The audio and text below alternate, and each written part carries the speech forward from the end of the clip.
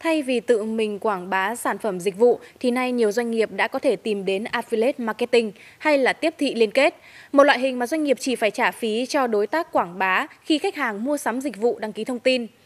Tuy mới xuất hiện tại Việt Nam với một vài startup cung cấp dịch vụ, nhưng mô hình này đã ghi nhận sự tăng trưởng vượt bậc. Công ty bảo hiểm bưu điện trước đây chỉ bán bảo hiểm theo cách truyền thống và trực tuyến. Gần một năm nay, công ty sử dụng thêm dịch vụ tiếp thị liên kết. Theo lãnh đạo công ty, chi phí bán hàng giảm một nửa, còn doanh thu thì tăng gấp 15 lần.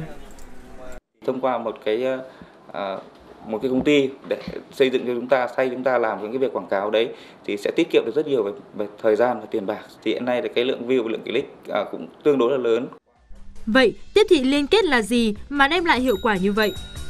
Một bên là doanh nghiệp cần quảng bá và bán sản phẩm, dịch vụ.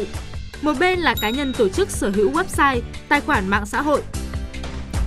Qua sự kết nối của một công ty tiếp thị liên kết, các cá nhân tổ chức sẽ đặt đường link bán hàng của doanh nghiệp lên website, blog hay trang mạng xã hội của họ. Nếu có người click vào đó xem và quyết định mua hàng, doanh nghiệp sẽ chuyển tiền hoa hồng tới các đơn vị trung gian.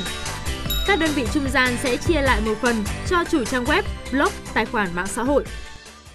Tôi ví dụ uh, thương mại điện tử cái phần mà mà mà mà dung lượng thị trường mà chảy qua các mạng lưới affiliate theo tính toán của rất nhiều quốc gia thì nó sẽ rơi vào khoảng từ 5 đến maximum là 30%, tối đa là 30% của cái dung lượng thị trường đấy.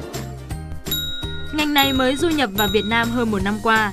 Hiện mới chỉ có 7 đến 8 doanh nghiệp tiếp thị liên kết, nhưng đã có khá nhiều doanh nghiệp thương mại điện tử, du lịch, giáo dục, tài chính ngân hàng tham gia vào dịch vụ của họ.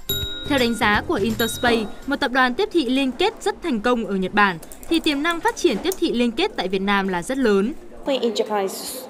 Ở thị trường Nhật Bản, tốc độ phát triển của tiếp thị liên kết khoảng 50% một tháng. Còn ở Việt Nam, con số này có thể lên đến 130 đến 140% một tháng. Việt Nam đang là một trong những quốc gia có tốc độ tăng trưởng thương mại điện tử nhanh nhất thế giới. Tiếp thị liên kết có tiềm năng trở thành công cụ để khách hàng tiếp cận và mua hàng qua mọi thiết bị.